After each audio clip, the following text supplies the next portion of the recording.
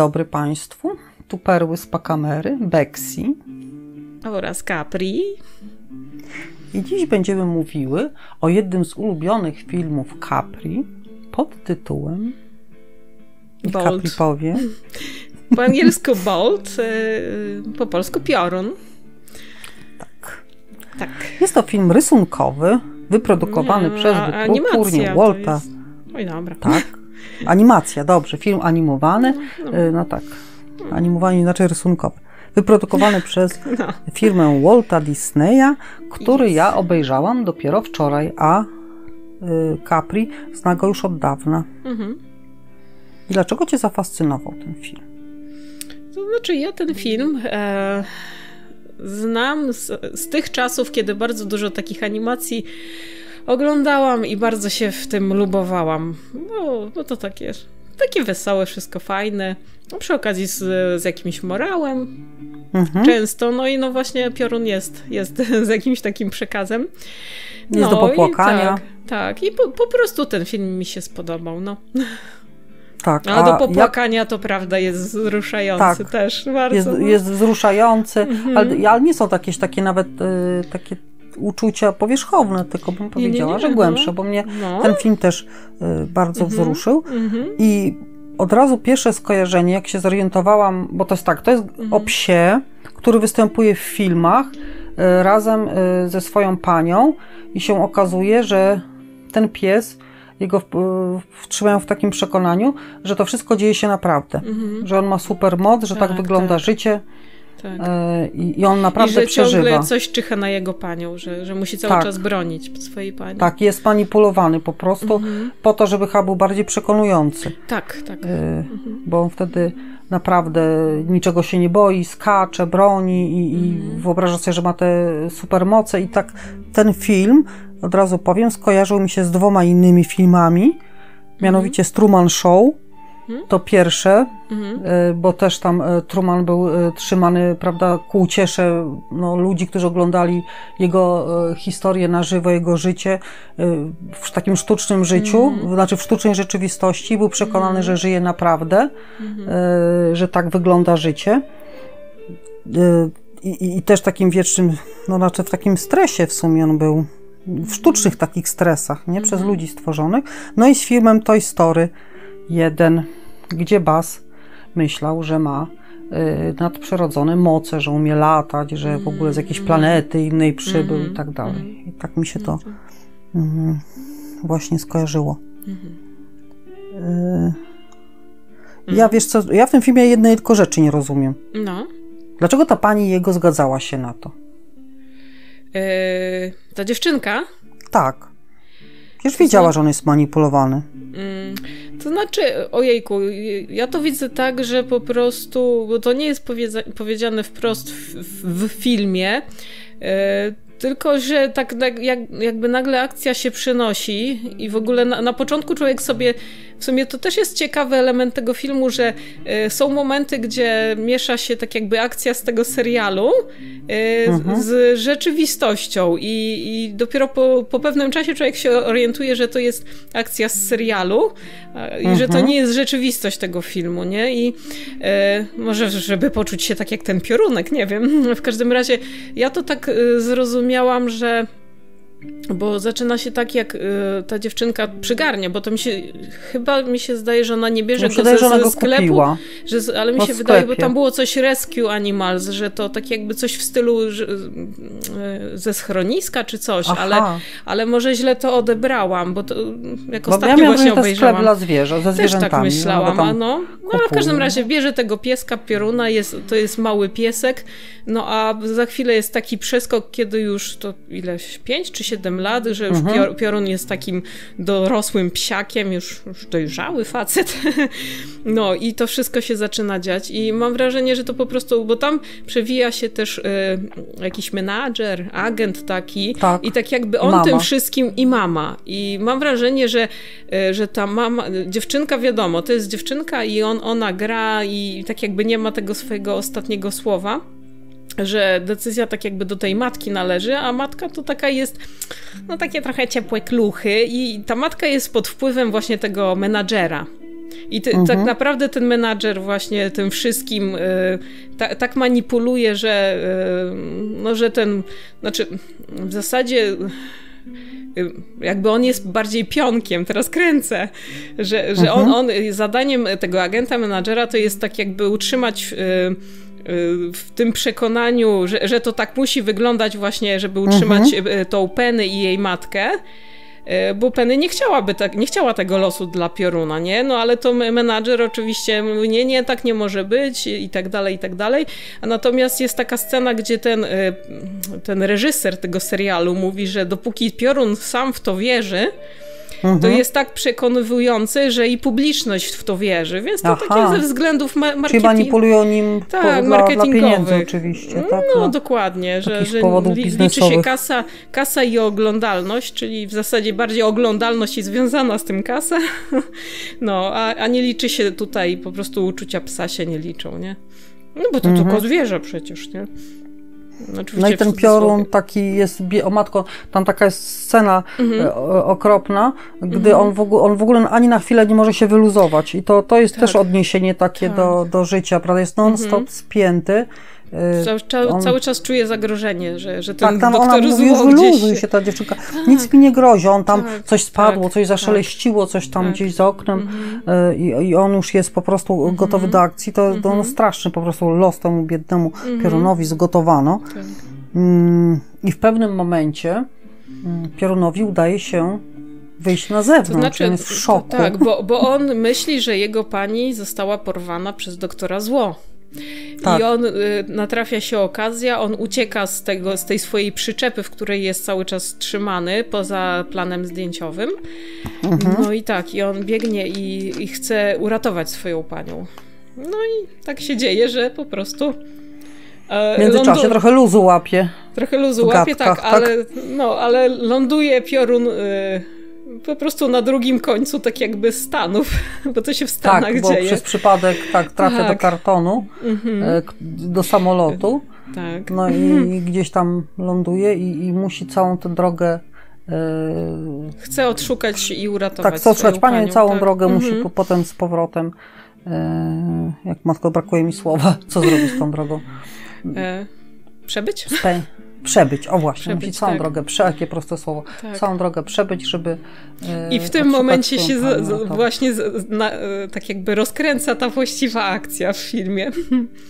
Tak, Takie moje wrażenie. on poznaje, poznaje normalnych, zwykłych, e, nie chcę być ludzi, tak, ale zwykłe zwierzęta, które sobie, zwierzaki, które sobie mhm. żyją normalnie i które mu pokazują, mhm. Jak wygląda życie Moją mhm. ulubienicą jest kotka Marlena. No, moją również. tak. No jest jeszcze ten chomik, ale ja zapomniałam Atyla, na imię. No, chomik też, za, ta, też zasługuje tu na uwagę. No. Ale Bo... chomik jest zafascynowany Piorunem. tymi przygodami pioruna i on tak. myśli, że to wszystko dzieje się naprawdę dopiero tak. ta kotka mhm. Odkrywa, że, że, to wszystko, że to wszystko jest fikcja. To znaczy w międzyczasie piorun się orient... najpierw myśli, że, że, że, że pewna rzecz go pozbawia mocy, no ale jednak do, dociera do niego ta okrutna prawda, że on jednak nie ma supermocy. No. A to tak jak mówisz, odkrywa to właśnie kotka Marlenka. Kotka, kotka Marlenka, która mhm. uczy, w ogóle to jest śmieszne, bo kot uczy psa jak e, się... psich zachowań, tak. jak się bawić, tak? Rzuca mu patyk, tak jak być sobie, jak ma prosić o jedzenie i jak ma tam ganiać, jak drugi pies taki się do niego przymilał, to ona mu z daleka mhm. pokazywała, jak on ma robić pozy, no właśnie, tak. prawda, żeby, e, no, e, żeby on się odpowiednio zachowywał. I powiem, że tak, e, ten film i to, to, to życie Pioruna, to skojarzyło mi się trochę z pracą w korporacji, mhm. gdzie też ludzie są najczęściej właśnie w stresie i na takich wysokich obrotach mhm. podkręcani i różnymi mm, takimi motywantami są tam podkręcani, mm że, e, że to jest dla rozwoju naszej firmy, że to jest y, dla, dla ich rozwoju, że to jest dla ich y, mhm. dobra, że, że jest okay. jakiś tam właśnie taki wspólny cel, że tworzymy drużynę i, i właśnie dokładnie w ten taki, taki podobny sposób jak do pioruna e, działa się e, na psychikę ludzi. Mhm. I, I, ci ludzie później są, często się dzieje tak, podkreślam, nie mówię o swojej firmie, mhm. bo moja firma to jest korporacja z ludzkim obliczem, ale wiem, że w innych firmach tak bywa. Mhm. Słyszę od ludzi, którzy do nas przyszli do pracy, że. Aha, matko, co ja chciałam powiedzieć? Że, aha, mhm. że ci ludzie są tak podkręcani, e, i tak e, w tej jakby sztucznej takiej rzeczywistości, sztucznej rywalizacji e, i w tym takim skupieniu się na jakimś tam celu utrzymywani, że oni nie potrafią się wyluzować na urlopie nawet. Mm -hmm. Że, cały czas że, że, w głowie praca. Tak, cały czas o pracy. Mm -hmm. Włączony telefon albo przynajmniej przeglądanie jakichś tam maili, co się w pracy dzieje. Mm -hmm. A tu się okazuje, że właśnie no, no niezwykle ważne jest również to y, wyczyszczenie głowy, tak? Mhm. Wyluzowanie się, pobieganie za tym patykiem, mhm. tak. zabawa, mhm. y, że, że jeżeli tak się ktoś zachowuje, to będzie lepszym pracownikiem w sumie, tak? Jeżeli będzie miał normalne życie i będzie miał jakiś balans pomiędzy mhm. pracą a E, a, a, czasem wolnym, tak to sobie wyobrażam. A tego nieszczęsnego pioruna to praktycznie ciągle jak w korpo utrzymywano, prawda? Mm -hmm, w, takim, tak. w takim stanie. Mm -hmm. No. No, no i tak, tak, tak właśnie. O. A, ja, a ja coś chciałaś powiedzieć, bo ja mam do ciebie pytanie. Nie, nie, proszę mhm. bardzo, słucham. Bo ty jako miłośniczka kotów, to mam do ciebie pytanie. Mhm. Jak oceniasz Marlenkę jako kotkę? Tako, e... Takiego rasowego dachowca, że tak powiem, bo to dachowiec, nie? Tak, to jest dachowiec. Zachowania tak. jej właśnie. Czy ty zauważyłaś Marenka, typowe zachowania no dla kota? Powiem takie, wiesz co, y, najpierw to Marenka wydaje się taką niesympatyczną kotką, mm -hmm, bo tak, ona tak. tam z tymi gołębiami tak se pogrywa nieźle y, i je trochę terroryzuje, prawda? Te piony tak. przynoszą jedzenie jej ciągle straszy pazurami. Których nie ma, bo ma wycięte, jak się A. później okazuje, tak. także, y, także tu taka się wydaje właśnie ciekawa, taka spryciara, taka przebiegła tak, i to się tak. takie wy, wydaje kocie, mm -hmm. że, że taki może właśnie złudny mm, spowodować wrażenie, że e, koty są wredne, wredne i tak. przebiegłe. Tak. Mhm. No, koty takie stale nie są. No, przebiegłe owszem bywają, bo są no, po prostu komiczne w tej przebiegłości, ale, no. ale jednocześnie to są no, w ogóle no, no, przesympatyczne i, i, i, i takie i, takie przyjacielskie, mhm. bo ale właśnie przewrotnie przyjacielskie. O, i to jest bardzo kocie u Marleny, prawda? Mhm. Mhm. Że ona jest taka przewrotnie przyjacielska. On tak naprawdę jej zależy na tym y, piorunie i naprawdę chce się z nim zaprzyjaźnić i naprawdę chce dla niego dobrze, ale robi to w taki trochę przewrotny sposób, udając, że wcale jej nie zależy, tak. że tak woli robi... tam gdzieś iść do kąta i się wypłakać, tak, prawda? Tak. Robi tak? przy tym te swoje kocie miny i fochy, no nie? Tak, tak, tak, tak. Obrazy, odwracanie drugą stronę tak. i ty to możesz y, zauważyć, y, bo się kolegujesz z jedną kotką. tak, z, z kotką Luśką. Tak, i Lusia też takie też mam nie, obrazy majestatu robi różne. Tak. Tak, potem, żeby później z drugiej strony przyjść, nie? Z jednej strony no ucieknie, właśnie. jest nadętą miną i z no, drugiej no, przychodzi. tak przyjdzie się łasi, tak. To ja to w ogóle, jak, nie wiem, no, no uwielbiam to u kotów. Nie wiem, no to w sumie może to, to jest tego się nie powinno akurat lubić, a mnie się to bardzo podoba, bo to jest takie śmieszne, no. No tak. Że one takie znaczy, co, co dostojne jeszcze... i takie... Tak. W ogóle co do Marlenki, to ja muszę pochwalić tutaj, bo to czekaj, chyba y, Sonia Bochosiewicz, tak? Tak. Y, ją dubbinguje. Tak, bardzo mi się podoba właśnie ten, ten, ten, to, w ten sposób, w jaki dubbinguje, właśnie takie trochę cwaniactwo, trochę takie, no. Tak. No super. Tak, nie, ona tam ma tyle twarzy, to trzeba, tak. to, to, ten film musicie koniecznie obejrzeć, bo, bo jest no, mnóstwo twarzy. Tak, ale muszę powiedzieć, że jeszcze wspomnieć o Atylii, o chomiku, tutaj... No. pan Karolak chyba podkłada, że jest też niesamowicie, niesamowicie y, motywujący momentami Attila i on jest przy, przy, niesamowity, że on po prostu pod, ładuje tak, się dla tego pioruna, dla tego pioruna po prostu normalnie igra ze śmiercią nawet momentami, tak, ale też to jest, jest taka przyjaźń, to jest wątek, tak, nie? typowo, tak, że tak, tak, zapatrzony i, i zapatrzony, taki kiedy motywuje tego pioruna, albo później Marlenkę. Attila to tak. ma nie, taką, takie fajne klapki na oczach, że on w ogóle nie dostrzega żadnej porażki, tylko on jest na, zaprogramowany na to, żeby walczyć, żeby się nie poddawać. To jest fajne właśnie w tym komiczku. No, to właśnie mogę od razu wspomnieć no. przy okazji o filmie, tak, który dziś oglądałam i mm -hmm. o którym ci pisałam, mm -hmm. King Richard, A, tak, tak, bo tak. też mi się, o, mhm. dokładnie, tak, mm -hmm. tak się zachowywał ojciec no siostry Williams, mhm. Że nic go, ani, no po prostu nic go nie zrażało. On sobie zaplanował, że jego córki nie ben, nigdy nie doświadczą e, rasizmu, przemocy, że się mhm. wydostaną e, z, z życia w, takim, w takiej nieciekawej dzielnicy, że będą najlepsze na świecie i, i, nic go nie zrażało. Ilu on tam trenerów oprzedł, ilu on osobom opowiadał, że one są takie genialne, mm. ile osób go wygoniło, że o proszę pana, gdybym tak wierzył e, każdemu rodzicowi, który mówi, gdybym od każdego rodzica, który mówi, że jego dziecko jest genialne, mm. e, brał dolara, to już byłbym milionerem, nie? Mm. A pan mi to opowiada, że pan ma dwie genialne córki. To tak jakby się u pana dwóch Mozartów urodziło. Ciekawe, to, no, bardzo mi się to no, zdanie no, podobało. No, A to była prawda, mm. tak? Znaczy fakt, że on to sobie y, przewidział i on je wytrenował od, mhm. od y, małego, mhm. ale, ale po to to dla nich było, żeby, żeby one się żeby wydostały one, stamtąd. Tak, żeby, żeby były szczęśliwe w życiu.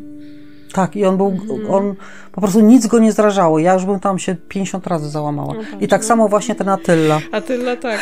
Ale jeszcze dodatkowo w tym, w tym jest taki na swój sposób komiczny w, tym, w tej swojej odwadze. Bo, tak, bo on się porywa, na przykład jak jest jedna scena, gdzie się porywa na jednego z aktorów i gdzie myśli, że to jest czarny charakter, nie? I tam atakuje w tej tak. swojej kuli, tam atakuje tak, tego... Szklany. Tak, tam ja wyrwę ci wątrobę, ty taki, nie taki. On mówi, jaki słodki, bo ty kuleczko, jak biega. A tak, tak, to bo już wiem, to było tam już tam na tym na planie filmowym, jak jeden z tych w, tak. w kostiumie wyszedł tak, złego, tak. nie? Albo jak też scena była, gdzie on tam ha, ha, ha, takim śmiechem, nie, taki upiorny śmiech tego, nie, a pokazana rzeczywistość, jaki taki mały chomiczek, pi, pi, pi, pi, pi. No. Więc on z jednej strony jest taki niesamowity, odważny, kurczę, motywujący, a z drugiej strony śmieszny.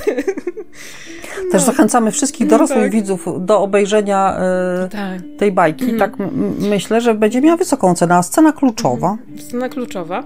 No dla mnie chyba mhm. scena kluczowa. Ojej, tam jest dużo bardzo fajnych tak. scen, ale chyba największe wrażenie to na mnie robi ta y, końcowa scena, kiedy Piorun y, daje ten swój super głos, chociaż on nie jest super głos. Mhm. Nie, jest, nie jest super, nie, nie ma tych, mhm. ale jednak jest to, już nie chcę spoilerować, bo to naprawdę to mhm. taka końcówka. To jest wzruszająca scena, wzruszająca to trzeba tak scena, muszą tak. obejrzeć.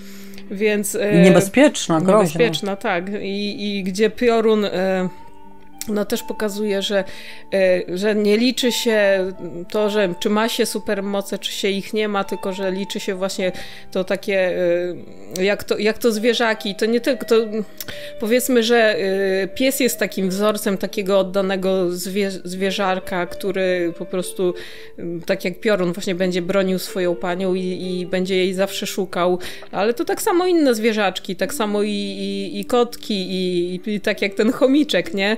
Mhm. E, I właśnie tutaj Piorun pokazuje, że to nie liczą się supermoce, y, oglądalność i to, że ludzie cię uwielbiają, tylko właśnie to, że to takie oddanie, to takie to, to psie serce, że przede wszystkim odważne, że on pomimo, że nie ma tych supermocy, ale jednak zachowuje się do końca jednak tak jak bohater. Supermoc. Tak, tak jak, jak bohater, prawdziwy tak. bohater, pomimo, jak że... prawdziwy przyjaciel. I przyjaciel, tak, no. Także no. A, a dla mnie mhm. kluczowa scena to jest ta, o której tu już wspomniałam wcześniej. Mhm. E, scena, gdy kotka Marlena uczy pioruna luzu. tak. E, tak, bo sobie tak właśnie zdałam mhm. sprawę, że ja w życiu e, przez większość życia była po prostu spięta i się wyluzować w niczym nie, nie, nie, znaczy nie za bardzo potrafiłam. E, spięta na przykład jako matka, że uważałam, że moim obowiązkiem jest to, to, to i to i że ja to po prostu muszę jak jastrząb tam cały -hmm. czas krążyć i, i czuwać. Y, w pracy, że muszę być super. Y, no, Musisz mieć super moce. Kurde, no dobra, powiem, jestem kierownikiem 11-osobowego, właściwie 12, bo jeszcze mam teraz takiego mhm. studenta z nami. Y, ja po prostu uważam, że uważałam, że nad tymi osobami też muszę czuwać, no, no, wspierać w każdym mhm. momencie, pomagać, mhm no, no po prostu super, super matka. Natomiast mnie tam kiedyś słyszałam na jakimś szkoleniu matką nazwano, bo ja zaczynam jakieś zadanie, nie? E, takie wspólne do, do rozwiązywania na, na jakimś szkoleniu, na jakimś zwykłym mm. szkoleniu, nie? To w grupie pierwszą osobą, która, no dobra, to robimy to tak i tak, która jakieś tam, to jestem ja, tak? Bo ja to, to trzeba zrobić, to musimy wykonać. Ja, ja czuję się zawsze odpowiedzialna, że to ja muszę to wszystko zagarnąć, no. Mm. I, i y, właśnie tego luzu mi zawsze brakowało, bo miałam takie wieczne poczucie obowiązku, a teraz staram się no właśnie wyluzować i ten luz y, pokazują mi zupełnie takie, tak jak piorunowi kot, tak? Marlenka, to mi tak? zupełnie też takie osoby tak. zupełnie nieoczekiwane. Tu na przykład o, znanym Mieczysław, tak? Okazało się zupełnie nieoczekiwanie, że, że mój mąż ma no, tyle luzu. No właśnie. No, to w życiu bym nie podejrzewała. Tak, że, no. że takim będzie tu dobrym aktorem.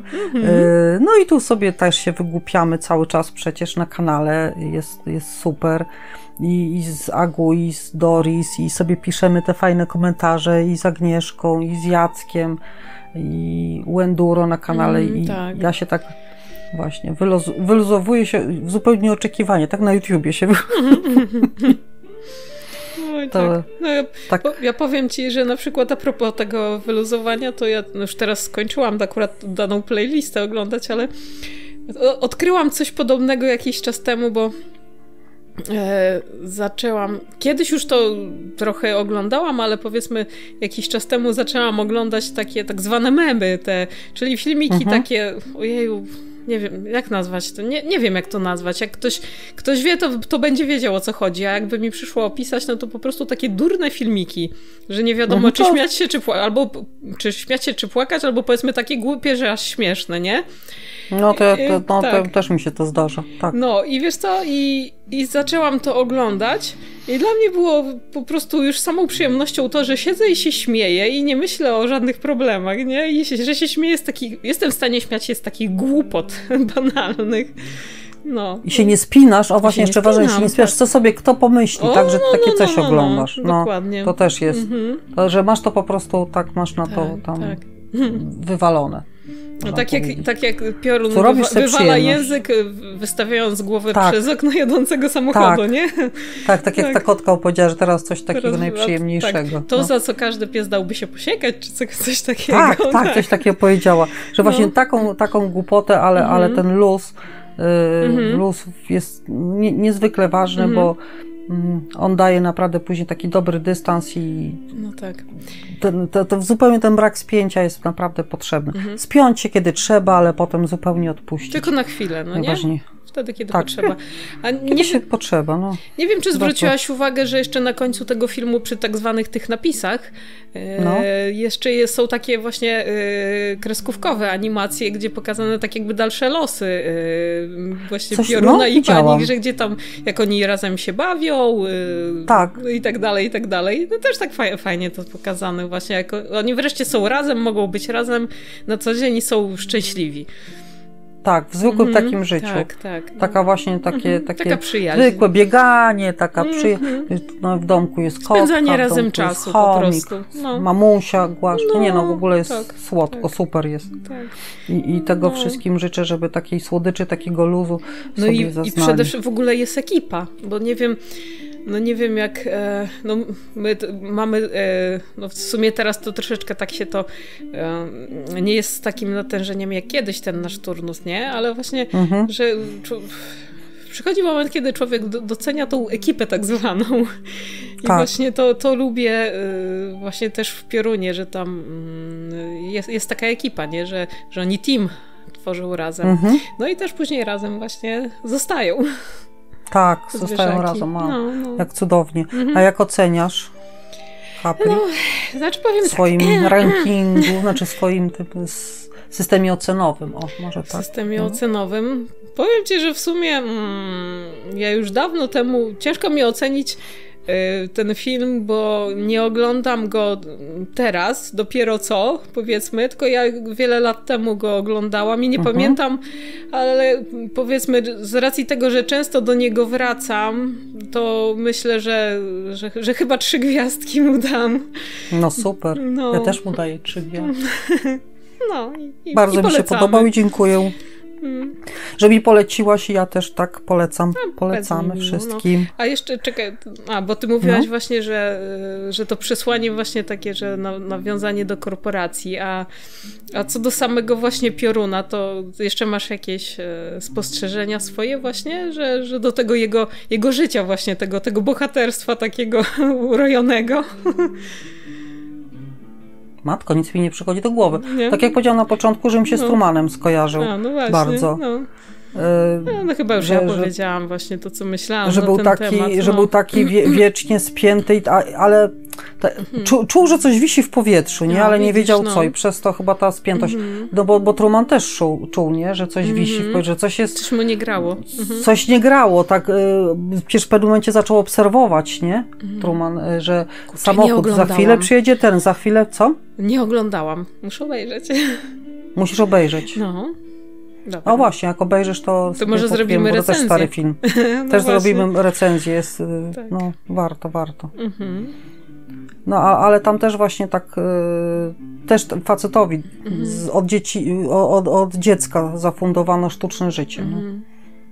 No. po to, tak. żeby był taki, takie, takie wielkie show telewizyjne. Mhm. Przez 24 godziny no, mogli go oglądać. Mhm. No masakra. I sobie nie zdawał sprawy. No tak. Że tak się dzieje. No. No ale cóż. No a ty? Jakoś to nie dziwi. Tak, w współczesnym no nie, świecie tak. też nic nie dziwi, nie? E, a, a ty? O co? No ty, mówię, jak postrzegasz, masz jakieś spostrzeżenia takie nie, no to o bohaterze to, Piorunie. To, to, to, właśnie powiedziałam, że to jest tak jakby no to, to, to przesłanie, że że tak jakby nasza siła nie leży w tym, że kurczę, czy jesteś duży, taki mhm. duży, taki mały, nie? Mhm. Czy, czy, jest, czy, czy, ty, czy jesteś mężczyzną, czy kobietą, silny, słaby, bo to nie o to chodzi. Chodzi o to takie wewnętrzną siłę, prawda? Tak. E, o to takie odważne, mężne serce. I że, że to, to, to z nas czyni takich bohaterów dnia codziennego. Wow, powiedziałam. Pięknie to powiedziałaś. No. no, także... No i tym proponuję zakończyć, tak bo jest. takie piękne słowo, hmm. takie piękne słowa padły. Tak jest, no. Także no, polecamy. To perły. No. To perły z pakamery mówią pa, pa. pa. I, pa. I na koniec dajemy super głos. Pa, pa. Pa, pa. Hello.